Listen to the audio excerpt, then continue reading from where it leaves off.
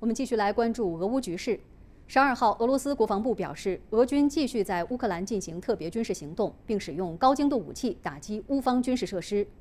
乌克兰方面同一天表示，虽然俄军已经从首都基辅周边撤离，但是基辅所受到的威胁并没有消失。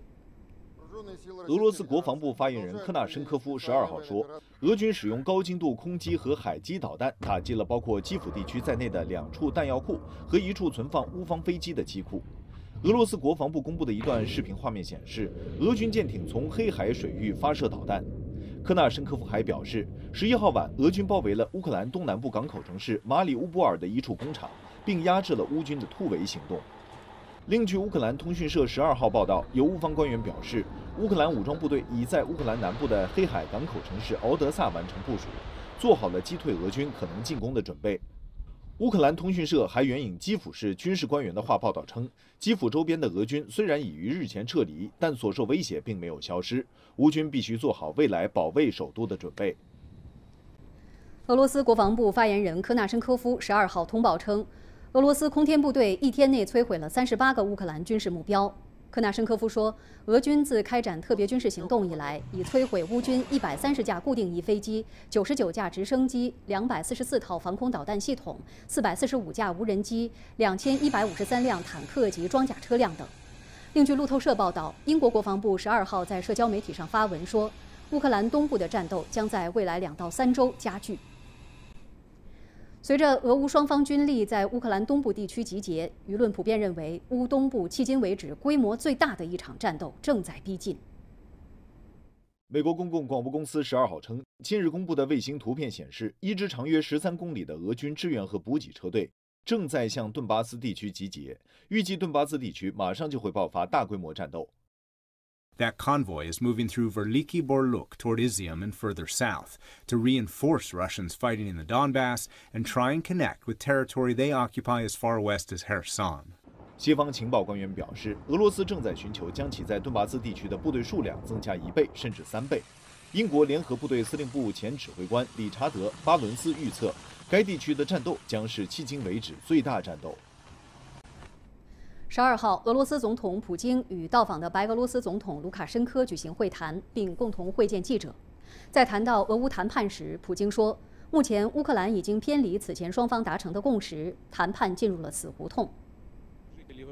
普京说：“乌克兰已经偏离此前双方在土耳其伊斯坦布尔达成的共识，解决有关于克里米亚、塞瓦斯托波尔以及顿巴斯关系的问题，被排除在了已达成的协议框架之外。所以，对俄乌双方来说，谈判已进入了死胡同。”普京说，据他得到的最新消息，乌方的谈判立场在十一号又出现了一些变化。这种在原则问题上的前后不一，给双方达成最终协议带来了困难。普京强调，在双方达成共识之前，俄罗斯的特别军事行动将按计划进行。乌克兰谈判代表代表团团长、乌人民公仆党议会党团主席阿拉哈米亚十二号在社交媒体上发文说，乌俄双方关于乌克兰安全保障协议的线上谈判仍在进行。乌方对双方在伊斯坦布尔谈判时达成的重要共识没有改变立场，但乌方不会考虑伊斯坦布尔公报中未包含的所有其他问题，这可能导致对当前谈判进程状态产生误解。据今日俄罗斯网站十一号报道，法国媒体日前披露，自俄乌冲突爆发以来，来自美国和英国的特种部队一直驻扎在乌克兰，并对俄军开展了秘密行动。今日，俄罗斯网站的报道说，法国《费加罗报》援引法国情报部门的消息称，自二月下旬俄乌冲突爆发后，英国特种空勤团一直驻扎在乌克兰，还有美国的三角洲特种部队。报道称，消息来源提到，俄罗斯非常清楚英美特种兵对俄军发动秘密行动一事。今日，俄罗斯网站的报道指出，美国和英国一直是西方国家中对乌克兰实施军事援助最积极的国家。英国首相约翰逊九号亲自前往基辅，表示自己对乌克兰的支持，并敦促泽连斯基继续与俄罗斯战斗。而不久之前，英国媒体也曾发布报道，称数十名英国特种空勤团退役士兵已经或计划前往乌克兰，以训练乌克兰军队使用西方武器，并对他们进行侦察和反坦克战斗方面的训练。但外界不少人质疑，英国派出的并非是真正的退役特种兵，很可能是现役特种兵，只是为了不激怒俄罗斯，所以才谎称这些特种兵已经退役。英国首相约翰逊与美国总统拜登十二号通电话，讨论加快对乌克兰援助的必要性。约翰逊在社交媒体上表示，通话中他就九号与乌克兰总统泽连斯基在基辅的见面情况与拜登进行了交流，并指出两国同意将进一步加快对乌克兰及其民众的援助。十二号，据路透社援引两名美国官员的消息称，美国总统拜登预计最早将于十三号宣布再次向乌克兰提供七点五亿美元的军事支持。据报道，这笔资金走的是特殊程序，可以让美国总统绕过国会批准，直接调用。自二月二十四号以来，美国已经承诺向乌克兰提供价值超过十五亿美元的军事援助。另据报道，美国国防部一名高级官员称，美国近期正试图说服部分盟友向本国拥有的苏制或者是俄制防空导弹系统提供给乌克兰。同时，美国也正在加紧向乌克兰提供武器装备。这名官员透露，美国每天有八到十架飞机向乌克兰供应西方武器，运送武器的车队更是源源不断。当地时间十号，美国总统国家安全事务助理沙利文接受美国全国广播公司采访，在被问到美国是否已经不再区分防御性和进攻性武器，从而为给乌克兰提供更多致命装备打开大门时，沙利文毫不掩饰地说，在这个问题上，限制几乎已经被解除。沙利文还称，美国提供的更多武器即将运抵，他承诺运往乌克兰的先进武器种类将非同寻常且前所未有。但他拒绝透露具体情况。对此，俄方表示，北约虽然否认公开参与冲突，但实际上早就站在乌克兰一边，借乌克兰之手与俄罗斯作战了。近日，英国首相约翰逊宣布将向乌克兰提供价值一亿英镑的武器，包括防空导弹和反坦克导弹。英国媒体指出，这些导弹可以对俄罗斯军舰造成严重损害，可用于对付俄罗斯海军对黑海港口的围攻。沙利文称，将有非同寻常且前所未有的先进武器运抵乌克兰。那么可能会是什么样的武器呢？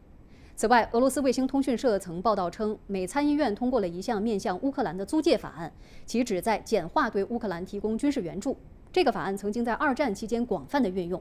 美国这一系列的举动背后究竟隐藏着怎么样的目的？相关的问题，我们来听军事专家杜文龙的分析。美国这种神秘呢，标志着今后在乌克兰没有出现、没有使用过的武器装备将会成为主要角色。按照美方的说法呢，今后三种装备将会向乌克兰提供支援。呃，第一是激光制导火箭弹，呃，第二呢是这个无人机美洲豹，另外呢还有高机动车。呃，如果采用激光制导火箭弹对地面目标攻击，特别是加挂直升机和其他的平台，这样呢，毁伤各种坦克能力将会进一步提高，而且成本会大幅度降低。呃，机灵口径的弹很便宜，加上激光导引头之后。就能够对昂贵的坦克进行攻击，而且呢，精度效果基本上可以达到之前这个空地导弹的攻击能力。这样在作战行动中大量使用、频繁使用，也不至于造成成本的激增。另外，像美洲豹无人机，呃，个头不大，七公斤，但是如果人用手抛掷的方式起飞，它可以在局部地区形成一个侦察平台，对于班组的作战行动，特别巷战会发挥重要作用。